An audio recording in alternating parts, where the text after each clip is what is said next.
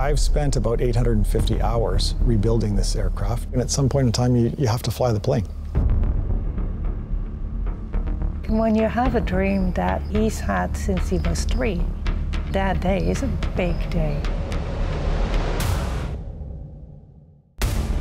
There is something about being not only the mechanic, but the person who gets in the cockpit and actually has to be the test pilot.